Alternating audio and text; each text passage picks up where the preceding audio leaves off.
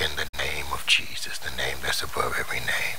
And at the sound of that name, every knee shall bow. Oh, glory, hallelujah. Thank you, Lord, hallelujah. Thank you, Lord, hallelujah. Mm. Thank you, Lord, hallelujah. Praise you. Here are the top Thank you, search thank you. Lord. Thank you, Lord. Hallelujah. Praise you, Lord.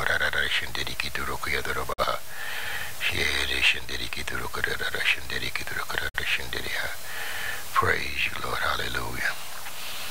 Mm, glory. Well, praise God, praise God, praise God, praise God, praise God. Well, I'm Pastor Mel of the Great I Am Faith Center.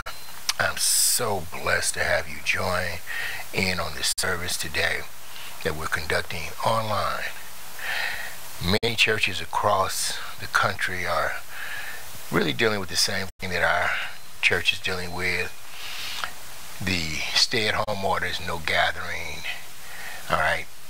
And praise God that God has technology that was invented that we can use to speak out and still get His word out. Amen. And I pray that you, your family, are, are safe and blessed today. And I plead the blood of Jesus over your life, over your home, over your children, over all that God has made you stewards. And I thank you. I thank you, Lord, for each and every one of them. For all of you that have continued to sow into the ministry, again, thank you. Thank you. I can never thank you enough. My wife could not thank you enough. Our ministry could not thank you enough for being faithful and dedicated, even during challenging times like this. But I want to say thank you. It is well appreciated. We love you. We love you. And by the grace of God, hopefully we'll be back together in the house, in the house, in the house to fellowship, worship together. Amen. Because you know what? I and my wife miss you so much. So much. We love you. God bless. Father God, we thank and we praise you, Lord God, that you will guide my tongue, Lord God. Allow me, Lord, to speak with clarity. Allow me, Lord God, to speak with accuracy, Lord God. Holy Spirit, you have your way. Let every heart be open to receive the engrafted word of God. Let their hearts be with fertile ground, Lord God. That the word that goes forth not only produces in their lives, but will be a blessing in the lives of others. Father, we come against every form of distraction, Lord God, that the enemy would try. Father, we bind it up now in the name of Jesus. We thank you for a good and wonderful service in your name, Lord Jesus, in your name. And let everybody say, Amen. Amen. All right. Last week, as you know, we were going over the blood. Okay, we spoke about the blood. Excuse me. And we looked at several different scriptures that spoke about the blood. I, I don't have time today to retrack all of that. So if you happen not to have caught our, our first part of this, it might be good for you to go back and catch it. You can probably look at it. You can look at it on YouTube, okay, to bring yourself up. As I said last week, many of you are seasoned Christians. You know about the blood. Many of you have wondered about the blood. Many of you have heard people saying, I plead the blood, and may not have understood it. But that's why God has me teaching this today because understanding the blood and why Christ's blood was so precious, it is vitally important. It is vitally important. In Leviticus, it says that with there is the life is in the blood. If you stop and think about your own bodies, if your blood was to be drained, you would just be a corpse. There would be no life in your body. I want you to understand that understanding about the blood of Christ is very important. Amen. All right, turning your Bibles to Hebrews 10, chapter 10, verse 1. And what we, while you're turning there, what we want to look at today, we want to look at why the blood of Jesus is so precious. We want to look at the blood of Jesus redeemed us. It's because of the blood of Jesus that we have forgiveness. The blood of Jesus reconciled us. Through the blood of Jesus, we have been justified. through the blood of Jesus, we have also been sanctified. It's because of the blood that our sins are washed away. And it is due to the blood that we have access to the Father. Amen? All right. Hebrews chapter 10 reads this way The law is only a shadow of the good things that are coming, not the realities of them. For this reason, it can never, by the same sacrifices, repeated endlessly year after year, make perfect those who draw near to worship. Otherwise, would they not have stopped being offered? In other words, what this is saying is if those sacrifices had been sufficient enough, they would not have to continue to continue with them. Okay? Then it goes on to say in verse 3 But those sacrifices are annually annual reminders. What is that saying to us? That every year they had what is called atonement. Sacrifices would have been were given for the sins of the people. Every year they had to have atonement. But what atonement did, it only covered sin. It did not get rid of sin. It only covered sin. So the sin still remained there. It just it just couldn't be seen by God because of the blood. Okay? Verse 5 Therefore, when Christ came into the world, he said, Sacrifices and offerings you do not desire, but a body, but a body you prepared for me. A body you prepared for me. With burnt offerings and sin offerings you were not pleased. Then I said, Here I am.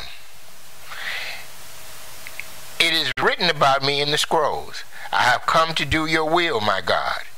First he said, Sacrifices and offerings, burnt offerings, and sin offerings you did not desire, nor were you pleased with them, though they were offered in accordance with the law. Verse 9 Then he said, Here I am. I have come to do your will. What was the will of God? That the Lord Jesus Christ be the sacrifice, the final sacrifice for mankind. What, what, bulls and goats and all the other sacrifices we see conducted over in the Old Testament were unable to do, the sacrifice of Christ was going to get it done. Amen? Amen. Then he said, verse 9, Here I am. I have come to do your will. He set aside the first to establish the second. and by that will, we have been made holy through the sacrifices of the body of Jesus Christ once and for all. See, from the very beginning, the very beginning, with Adam and Eve, when sin was conducted by them, when they when they committed sin, blood had to be shed because when God used the animal skins to cover them.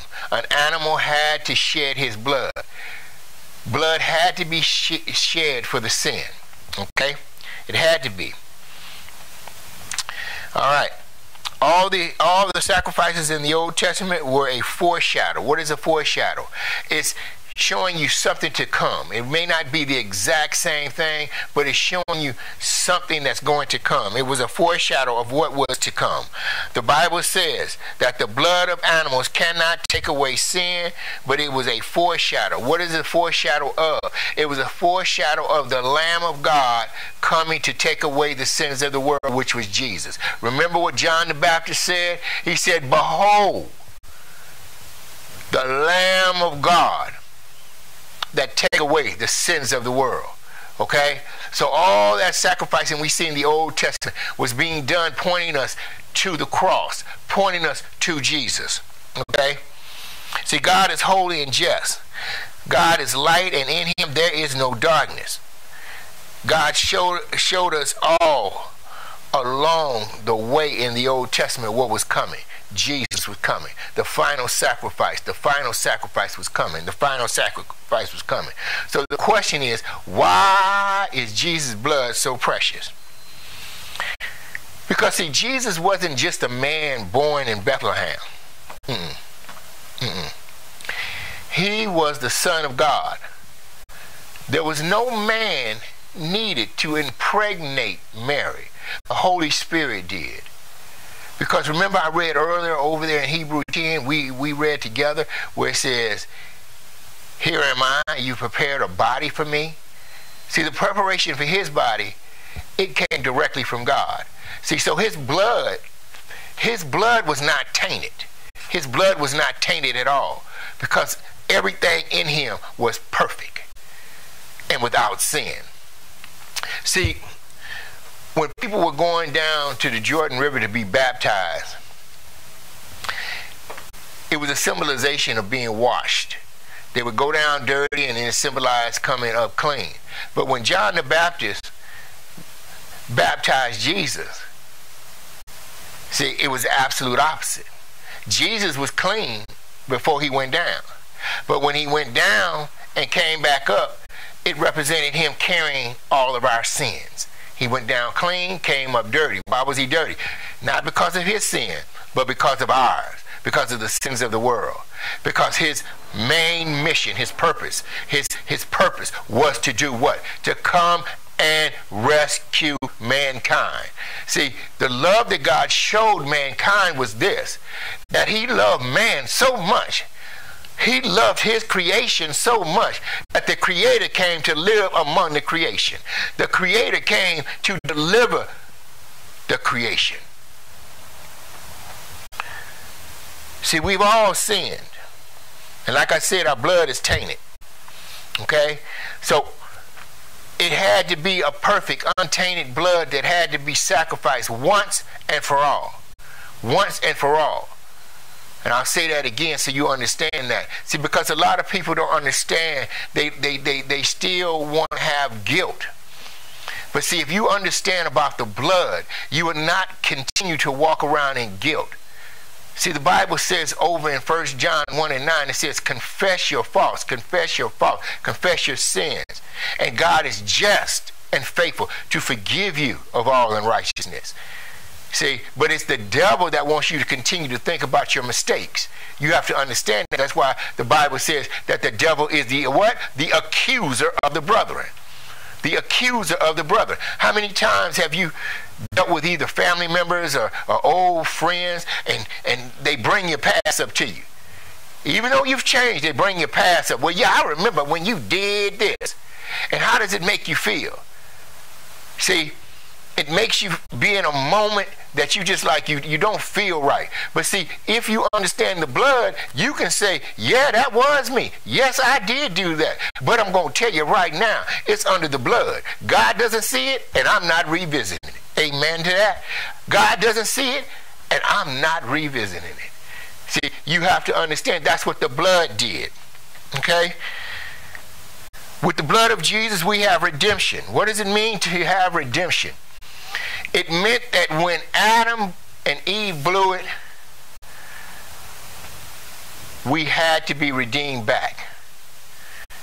Why?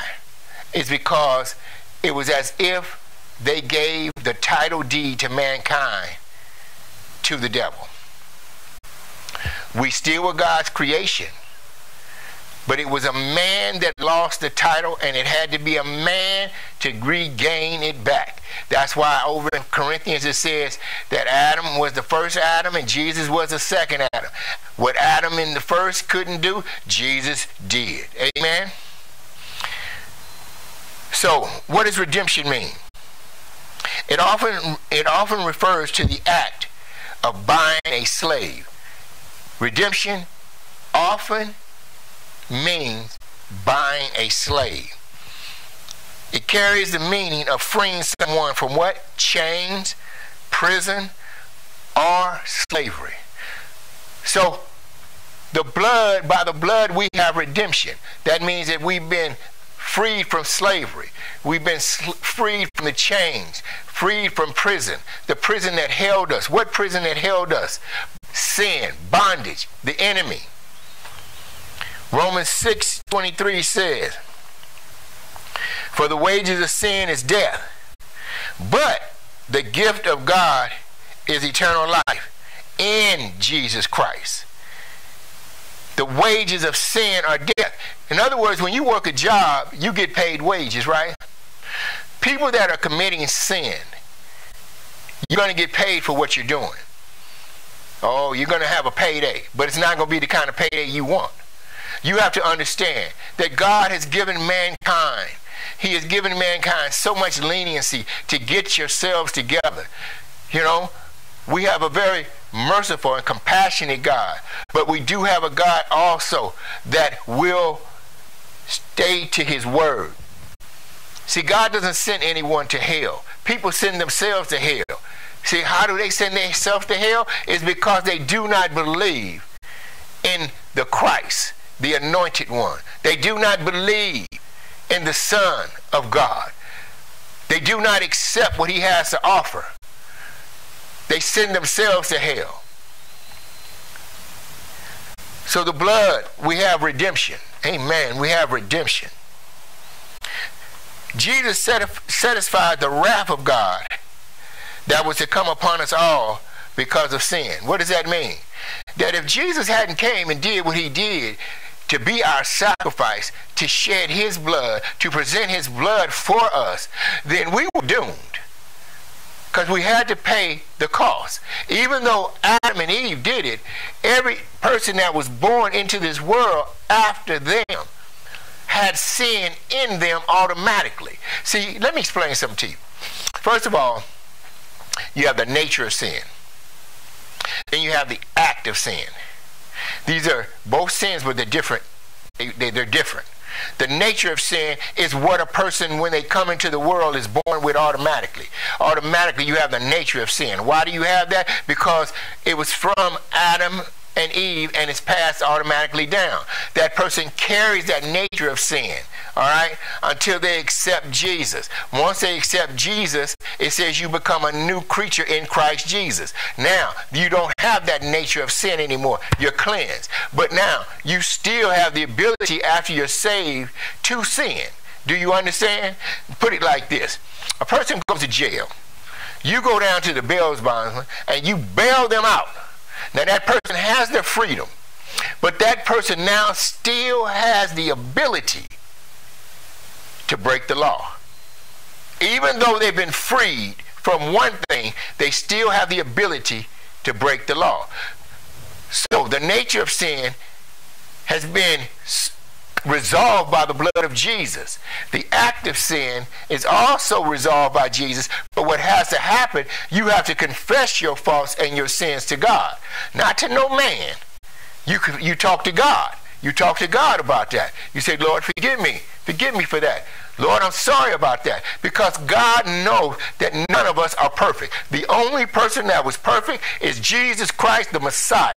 He's the only one. So we are going to make mistakes. We're going to blow it per se. Just put it blankly, we're going to blow it at times. But we have to understand that God's love allows us the opportunity, allows us the opportunity to come to Him and say, Forgive us. But I'm not talking about a person that wants to sin just to sin. You know it's wrong and you just want to do it anyway. See, you are now abusing the grace and the mercy of God, and that won't continue to happen. Amen? Amen. So by the blood of Christ, we've also been forgiven. Hebrews 9 and 22 reads this way. In fact, the law requires that nearly everything be cleansed with blood. Oh, you need to, if you don't have this scripture marked in your Bible, you need to really mark it. It's Hebrews chapter 9, verse 22. In fact, the law requires that nearly everything be cleansed with blood. And without the shedding of blood, there is no forgiveness. Without the shedding of blood, there is no forgiveness. Now that's you can't get any plainer than that. You can't get any. He says, without the shedding of blood, there is no forgiveness. So our forgiveness came through the shedding of Jesus' blood. See, we can now receive forgiveness from God for our sins on the basis of what Jesus did for us, for you and me. All right? God forgives you not because you just ask him, but on the basis that his son went to the cross and shed his blood for your sins. Whatever you ask God, whenever, whenever when we ask God to forgive us, His forgiveness comes not because we say we would do better, not because we say we're not going to do it again. He forgives us because of what Jesus did on our behalf. Do you understand what I'm saying? Because of what Jesus did on our behalf. That's why the enemy doesn't want you to understand the importance of the blood. Because if you don't understand the importance of the blood, you'll walk around continuously walking in guilt, believing that you're unforgiven. But if you understand what the blood has done for us, what Christ did for us, then you won't walk around that way. The blood reconciled us. Now we hear a lot, you know, reconciliation. What does that mean? To bring back. That's what it means. To restore to union and friendship after a disagreement. To restore. To restore. Well, mankind had, had, had, a breach. Had a breach. How did mankind have a breach? Because of the sin in the Garden of Eden. Because and that breach was there. Okay, that breach was there. The only one that could close that and bring that true reconciliation back to mankind was Jesus. All right? And here's a couple of scriptures to show you. Colossians chapter 1 verse 20. And through him to reconcile himself to all things, whether things on earth, things in heaven, by making peace through his blood shed on the cross. That's Colossians 1 and 20. Now look at Romans 3:25. For God presented Jesus as a sacrifice for sin. Notice he presented Jesus as the sacrifice for sin. People are made right with God when they believe that Jesus sacrificed his life, shedding his blood. Romans 3:25. So, the blood brought us back. It brought us back. So see, you should never feel a part of God, away from God. See, those are your feelings and the enemy trying to trying to really get you to believe that God doesn't want anything to do with you. How could you think that God doesn't want anything to do with you when the most precious thing in existence, Jesus the Christ, the Messiah, he allowed him to come and give his life for you. Think about that. For you. For me. How dare you believe that God doesn't want anything to do with you? God wants everything to do with you. That's why He wanted you to be reconciled. He wanted you to be brought back. He wanted you to be a part of the family. He wanted you to be able to love Him like He loves you. He wanted you to know that He has done everything that you could have everything. Woo, that's good. He has done everything so that you could have everything. God wants you to live a good life. He wants you to live a healthy life. God wants your children to grow up right. He wants all of this for you, and He has provided this for you. But when you start to feel that you're not entitled to it, when you start to feel that you don't have it coming, when you start to feel because of what you did in your past, and, and your past could be an hour ago, what you did in your past, you don't deserve this. Well, then you're lying to yourself and you've been deceived. It says, I'm going to read it again so make sure you get it and understand it. Romans 3:25 for God presented Jesus as the sacrifice for sin. People are made right with God when they believe that Jesus Christ sacrificed his life, shedding his blood. What else does the blood do? It justifies us. Look at Romans. You're already in Romans. Go over to Romans chapter 5. Turn over two chapters. Because you, Romans chapter 5, and we're going to look at verses 8 and 9. And while you're, while, while you're going there, I want to give you the definition of justified. Justification means being declared righteous. I'm going to say that again. It means being declared righteous. Justified, to be justified means that you have right standing with God. All right? It's a legal term used in the Bible to describe the act of God in which he, in which he declares that that person is not guilty. Ooh-wee. I like that. Which he declares that that person is not guilty. The blood makes you not guilty. The blood makes you not guilty. See, let's let's stop for a minute. Look, remember in, in, in Exodus, we looked at it last week. God told the children of Israel what to do. To take a lamb, when they when they when they sacrifice that lamb, to take the blood, apply it on the doorpost, you know, two sides and the top. Said, take it and apply it on there. He said, mm, when I see the blood, I'll pass over. That's why we call it the Passover. He says, when I see the blood, I'll pass over that house. What, what, what happens when sickness and disease comes our way? We are, have the blood applied. We have to remind ourselves and the enemy. You got to, you got to get going. You got to get gone because I am my my house, my home, my cars, my children, my life is covered in the blood. It's covered in the blood. You got to start understanding that when the old folks used to say, I plead the blood, what they were doing was bringing the blood up that demonic forces could see. I plead the blood against the devil. I plead the blood against this. They're bringing it up because, see, there is victory in that blood. There is victory in that blood. See, that blood was shed for you and I. That blood was shed that God could first reconcile us to himself. That God could what? Justify us. And because of that blood, is that blood and that blood alone that has redeemed us, has purchased us. You don't own yourself. God owns you. See, a lot of times we get big-headed and think, you know what? Oh, man. Oh, man. Uh, this is my life. No, this is God's life that he gave you.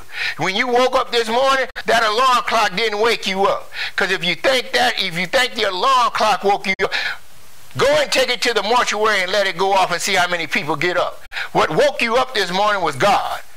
What woke you up this morning was God, allowing you to continue to breathe. See, you have a purpose. God created each and every one of us with a purpose. You have to keep seeking God because if you seek God, your purpose will find you. But you got to seek God. People running around talking about, I don't know what my purpose is. The question is, are you seeking God? Most people that say that they're not really seeking God. You got to seek God for real. We have too many people faking and shaking in the body of Christ. We got too many, you know know, people that, that, that, that on Sunday they in church praising the Lord and Monday through Saturday they live their life any kind of way. Right now, it is time for us to reevaluate ourselves. God has us where right now with what we're going through with this coronavirus mess, we need to reset ourselves. We need to reprioritize ourselves. We need to look at what God is saying to each one of us individually.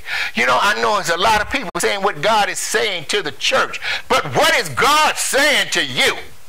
That's what you need to be asking. What is he saying to you? So the blood justifies us. See, God is a holy God. And God must punish sin. He has to be true to himself. See, we all have sinned. There is nothing to look forward to but death and eternal separation if it wasn't for the blood we'd be doomed. If it wasn't for the blood, we'd be doomed. And I want you to understand this. This is important. See, there are certain things that, that every Christian needs to, to be aware of, you know, and, and, and understanding the blood. Okay, let me, let me ask you this. You remember over in, um, uh, with, with uh, Moses, okay? You can look it up, either Google it, or those of you that know, you know how to find it. That Moses, God was going to kill Moses because he hadn't circumcised himself or his sons. But his wife took a rock and circumcised him. And she made this statement You are a bloody husband to me. You are a bloody husband to me. Well, God is our husband. He is our husband. And he requires blood. The blood of Jesus Christ. Amen? Amen. The blood sanctifies you. What does that mean? It's the blood that sets you apart. Look at Hebrews 13 and 12. And so Jesus, Hebrews 13 and 12, and so Jesus also suffered outside the city gate to make the people holy. In other words, that word holy means set apart through his own blood. To make the people holy through his own blood. See, sanctification is a process by which God sets you apart. Okay? It makes you holy, it sets you apart. See, this process will last until the day you die. What does that mean? Every day you live in you being you're go you're going through a sanctification process. You're going through a sanctification process every day you live. You know, you're not you haven't arrived yet, you're not there. Every day, every day, every day. It's like you go, you know, you took a shower, you took a shower yesterday, but you went out and go to work today. You're going to take a shower tonight. Every day you clean yourself up. You know, so every day God is sanctifying. God is cleaning his people. How does he do that? Through the word. Jesus said, You're sanctified by the word. A lot of people, you know, that's why they don't really get into the word, but you got to get into the word. You got to read your Bible. You got to start doing some things, you understand me? Not just when you're comfortable, you understand me? You got to start really getting into your word. Well, Pastor, I don't understand the word. Well, then, why don't you ask the author, the one that wrote it? Ask the Holy Spirit to explain it to you. Because he wrote it, he'll explain it to you. See, you have to start doing some things. See, don't think that just walk with God is so easy. It's not, it's not impossible and it's not really easy. You have to understand that you're going to have to walk. You're going to have to speak it. You're going to have to do this thing. You're going to have to rely on the strength of the Holy Spirit to get you through. To get you through. The blood washes away sin. It washes away sin.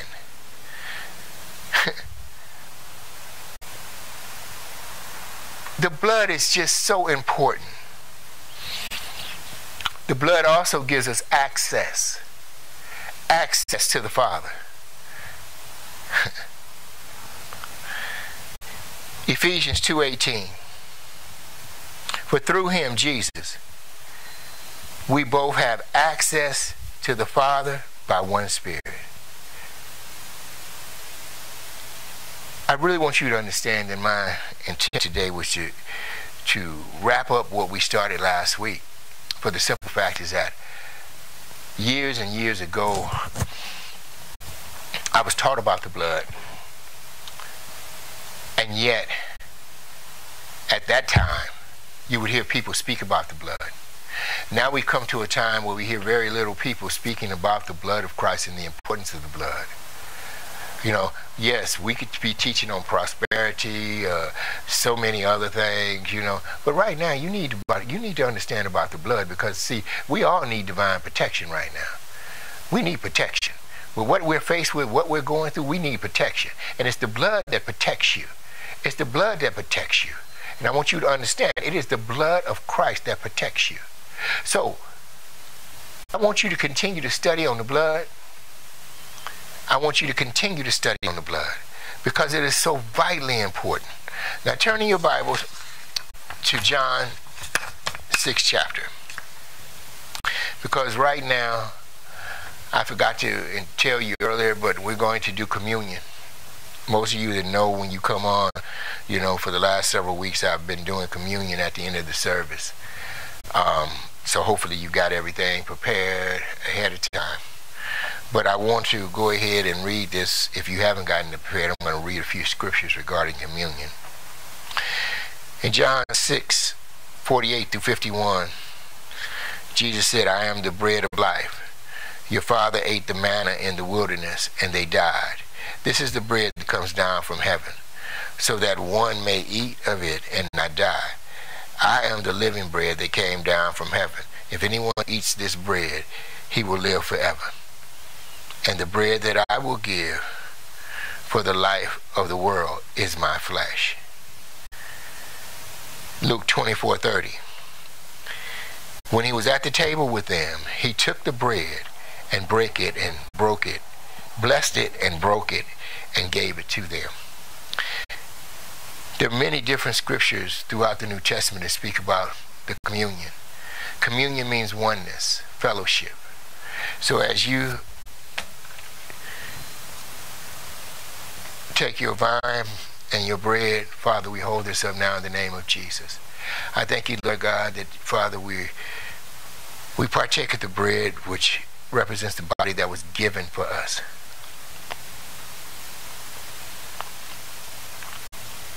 We also drink from this cup. And this vine represents the blood that was shed for us.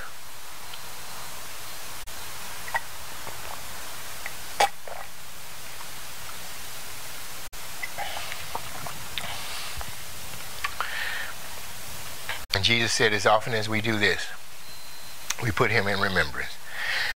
Thank you for tuning in. God bless you. Love you. Have a wonderful day. Enjoy your Sunday. We'll continue to pray for you.